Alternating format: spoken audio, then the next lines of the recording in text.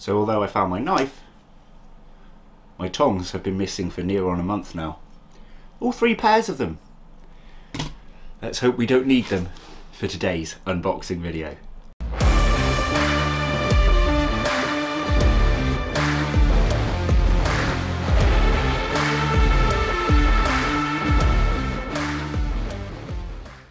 Hello and welcome back to Bug Realms. On this channel we like to discuss all things creepy crawly. So if that's something that interests you, please consider subscribing to the channel. So I do have a few things to say before we get into this box of goodies. First of all, how do you like this? Oh. The new Christmas jumper by Bug Realms. Merry Stickmas. Now I know, I know we're not even in December yet, but I wanted to give you guys a heads up, especially those that live overseas and it can take a while to arrive. These are actually for sale. They're on the same um, platform as my Project Paradise merchandise. There'll be a link in every description below. I may make an additional link specifically to this Christmas jumper if you're interested. So there's a closer look. It's an Extatosoma tiaratum, adult female. This is actually my biggest Extatosoma tiaratum that I took a photo of, added a little Christmas hat on. Now, the outline of her, there is some slight white to it, but I think it gives it that kind of retro look anyway. I kind of like it. If you're interested in those, please comment below if you're getting one and also check that link. Now, the other main thing, we're doing something a little different today. This box here came from Bugs UK. Now while I just take my address label off, let me just explain why I purchased from these guys. I initially wanted a Red Fang Wandering Spider, always wanted one, saw one for sale, I thought yes, and then I added a few extra little bits. Now unfortunately, oh what a horrible noise, unfortunately I was too late. Um, I got an email saying they're very, very sorry. The Red Fangs are actually out of stock and they refunded me for them. Um, and they just sent everything else. But I thought we would do things slightly differently to normal unboxings. We're not actually going to go through every animal in this box today. Instead, we're going to pace this out through November. Why? Why? Why? Couple of reasons. Reason number one, I think that each animal in this box is rather unique in the invert world in its own special way. Hence the title of the video, right? I also think that each one will deserve its very own video. Now there are four animals in here and there are four Sundays in November. So I thought, why not pace this out? Do a sort of creature feature type thing um, for each animal in here and I will place something, whether it's in the title, description or intro of the video, that gives you a little hint as to what it might be. But until you click on those videos, you won't know for sure.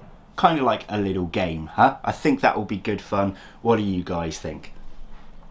Uh, reason number two for doing it this way is I need a bit of a break at the moment. So if I can film all of November's videos today, or ambitious, and then next week try and film all of December's videos because I already have one in mind which leaves only three more Sundays for December.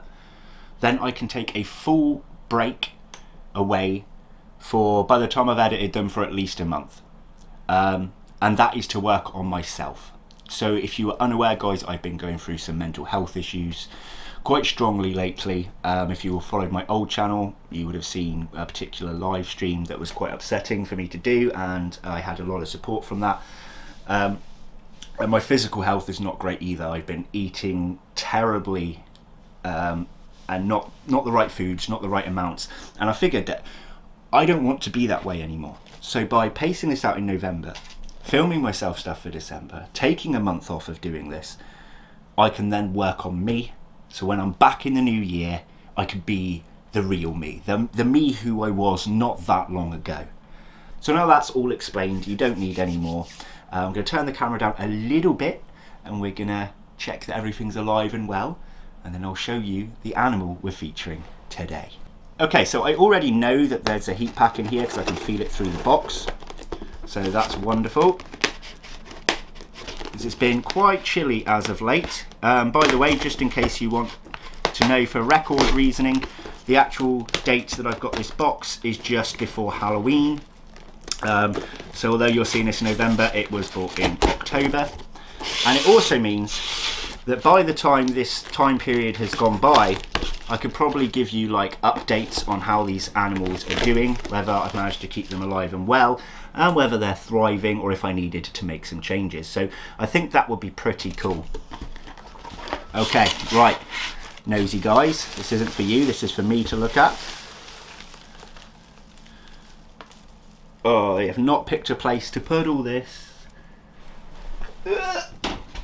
Substrate box. I'm going to need that substrate box. I am so stupid. Right, let's just put it down here. Da, da, da, oh! Oh, no, no, one of them rolled out the box. I'm sorry. Oh, that's the one that I really don't want to open out of the box. One.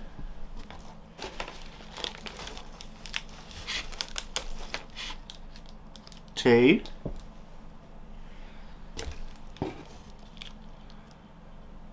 What is this? Oh, wait, yeah, that's maggots. Uh, pinkies, uh, that's not featuring in the videos, and that was just my purchase. Um, this is the, oh yes, this is the one for today's video. Three.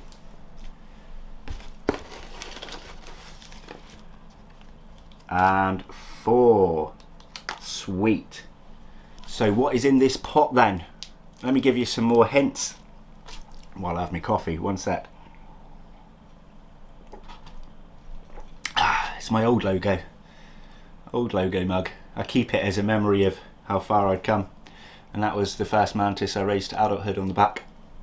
Anyway, um, so this is an animal I have kept before twice. Um, the first time I kept this animal, I kept it for a long, long time, and it was male. The second time I kept this animal, it didn't last quite as long as the original one, um, and it was female. And the one I've got here today is also female. Now also by following the title, can you guys guess what it is? They also both had names, by the way. The male began with a P, the female began with an N. Now I know those of you that have followed me a long, long time will know exactly what I'm talking about. If you have worked out before I show you, comment below, I'll believe you. Let me know if you've worked out what animal this is, even if you couldn't pronounce the name properly. In this pot is a Cosmoderus femoralis, thorny cricket female. Let's get her out and have a look. So you might hear some horrible noises. Um, I've just got some polystyrene on the table. I keep messing up this table. I mean to repaint it. Um, yeah, I've got no excuse really. Just uh, put up with it. Right. Are you ready? Are you steady? Let's go. Oh. Hello, gorgeous. There she is. I didn't quite get that tape off properly. There we are.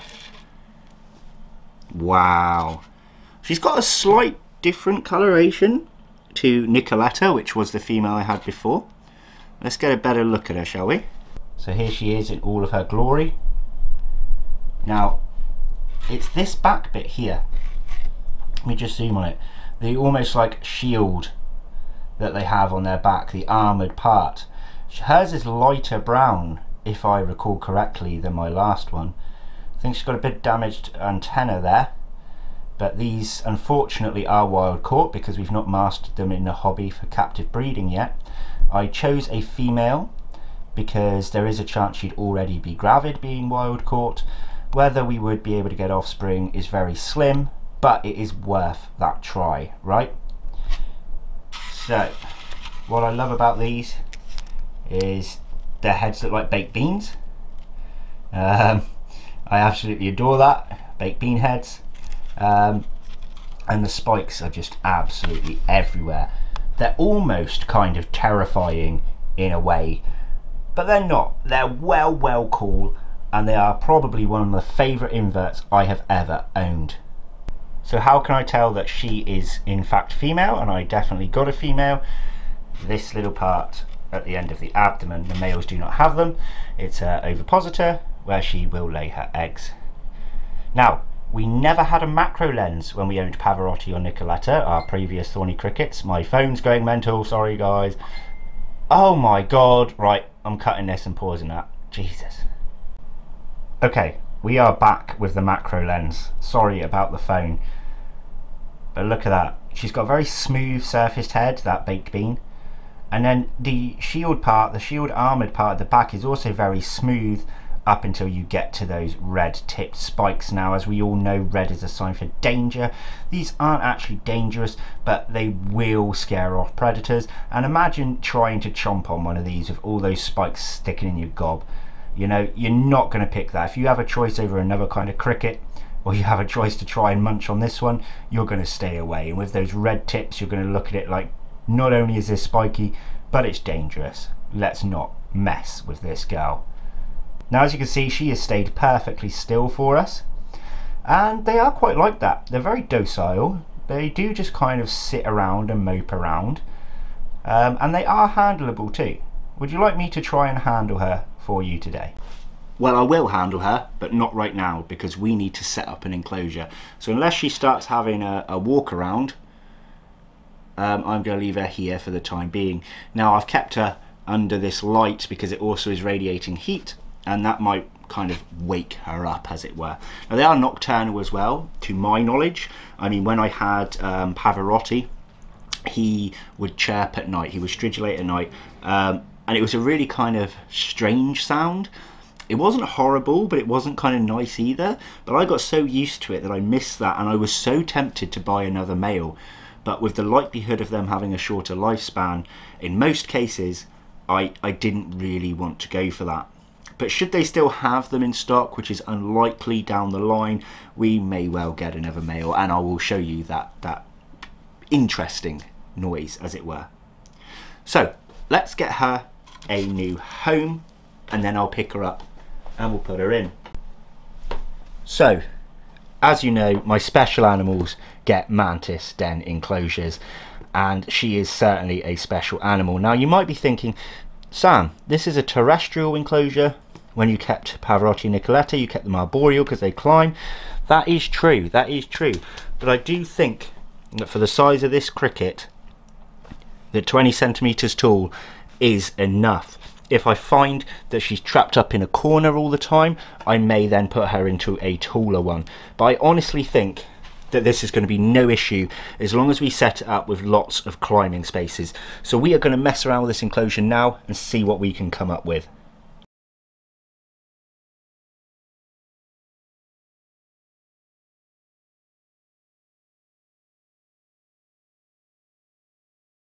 So I've rested the light on the top so you can see the overall appearance. And this is it. It doesn't look like a lot. I don't think she needs a lot. The idea behind it was to branch everything to one corner so that she can kind of hide in between if she chooses to. And then if we come round the back here, she's actually got a hell of a lot more space in a slightly dimmer lit area She's got the moss for a bit of added effect and texture. I kind of want it to look almost like, you know, when you're building a stick hut when you go camping. That kind of appearance. So she's got lots of branches all coming up one direction and lots to climb. And it actually looks better in person than on the camera. I'm a little bit disappointed how this has come out on the camera. Um, but as I said, we may well move her homes in the future. Let's just see how she gets on here. She's also got these ventilation holes at the top, which should be enough for her to be able to grip onto if she wants to go upside down. Now this is not actually a water dish, this is in fact a food dish. So what I'll be putting in here is bug grub, maybe for one week to keep her going. We'll also be adding dead insects, so dead, dead crickets, mealworms, we'll even add a few live ones in there as well because I have seen these take to live. Um, as for water, I'll just be spritzing around the sides. If I find she's drinking a lot, I will add a separate water dish that's very shallow for her. So there we have it. It's not aesthetically as pleasing as I had imagined it to be, but I think it will do for our girl. So all that's left is to hold her, show you that you can handle these safely, and then pop her inside. Okay, so now it's time to get her in. I've just given her a little nudge off of this lid because I want to remove her from that because there is actually um, still a little bit of tape on there.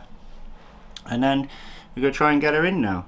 Now these things actually do creep me out in the slightest bit because their heads are so low to the ground. Um, they start kind of feeling around with their mouth parts, sensing what's around. And because their heads are right by your skin, it looks like they are going to bite you. Um, now, whether they do bite or not, I'm actually not 100% sure, but I'm not too worried about it. I never got bit by Pavarotti or Nicoletta, and I would hold them now and again. She doesn't really like the feel of my hands, I don't think. But there she is. You can see? Oh, it's a bit blurred, isn't it? Right, let's get her in so that you can have a a better look at her. So there she is. That's exactly how I wanted it to to look. This is why I chose these branches. You see how she is actually quite camouflaged. I know you'll be able to spot her straight away because you know what you're looking for. But if we to zoom this right out, like here, and let's just say you were walking past and this was all woodland all the way along, you're not really going to spot her at all. So I did pick the right coloration branches. I am happy with that. Wow, to have one of these back in the collection. So what else can I tell you about the um, C. femoralis? Not a lot. There's not a lot of info out there. Now, these being an African species, as far as I'm aware anyway, they are probably better with a bit more warmth, but I did fine at general room temperature. But obviously the realm is kept pretty warm because I have a lot of animals. Um, so I haven't had any trouble. They weren't lethargic in any way. That's normally a good sign that you need to up the heat if your invertebrate is being rather lethargic, rather than just slow and like not their normal self. Obviously you saw how quickly she woke up when I um, started tapping her. She's still very, very active. So she should be fine. Look at that, she's like, what are you doing? So there, I got her to turn around and you can see. That's what I was talking about where they sense. So they do that when they're on your hand as well. Right she's in a really awkward place now. So I think what I'm going to do I'm just going to fill up her food dish and put her away. Oh I wanted to get one more shot of the baked bean head. What should we call her guys? I'm thinking I'm thinking we should call her Heinz. What do you think? Shall we call her Heinz? For Heinz baked beans? Why not? So here is Heinz with her hind legs. Give it. Are you going to turn? Maybe if I tap you, you'll turn around and we can see your baked bean head. No, she's just thinking, leave me alone, I've just got out of a box, please don't prod me. Okay, we're going to leave you be, I'm not going to disturb you anymore. Perhaps if we can turn through the acrylic you can have a look. You can just see the mouth parts moving. Oh she's actually chomping on some moss by the looks of it.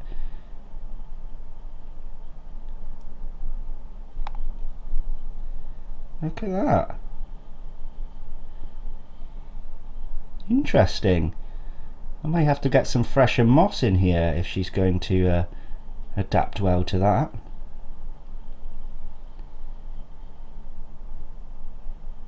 Cool. Right, anyway, I guess that's a wrap, guys. So, what did you think of Heinz? Do you think that the C. femoralis were worth being named as unique? I certainly do. I really, really do. They're just such a, an interesting species to own. Downfalls, your cons, that we haven't mastered them in the hobby yet. There's little information about them and I don't think anybody has succeeded in, in breeding programs over here, but I could be totally wrong on that. I haven't fully looked into that. Um, your positives, cracking appearance, great things to, to show off if you have people coming round. Handleable, um, obviously, maybe not so much for children because you can feel those spikes on you. Um, and they're just quite docile. You know, they're not going to just bolt out of an enclosure. You could probably leave this open um, and I would find her either still inside or just on the edge, just down here. So, yeah, pretty cool. And she's definitely eating that moss. So, I'm going to end the video here. Again, let me know in the comments below if you think she is unique. Again, if you want a Christmas jumper, link is in the description below. I'm going to wear this jumper through all of the November videos um, because, well, who doesn't want their merch being worn at Christmas time, right? Thanks for watching, guys. See you in the next one. Take care. Bye-bye.